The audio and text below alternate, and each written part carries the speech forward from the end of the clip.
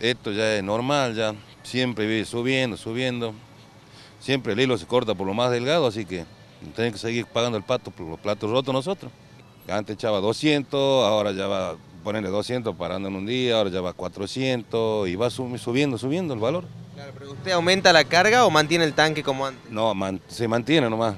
Hay que tratar que no, se, no, no quede seco, porque si no es peor. Estamos complicados ya, el tema de aumento permanente, ¿viste? Ya no da el bolsillo. Antes ponerle, no cargaba todos los días, ahora más o menos 10 por medio.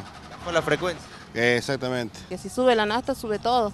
Ah, bien, ¿y por ahí vos cargas menos cuando hay este tipo de subas? Y sí, cargamos lo mismo, pero es con menos cantidad. La cosa es que estamos acá en la zona, nomás no podemos salir a otro lado tampoco. No se va a poder andar en asta, la verdad, y para poner acá está muy caro la instalación. La verdad me parece va a ser un lujo andar en el vehículo. Llenar el tanque prácticamente ya imposible.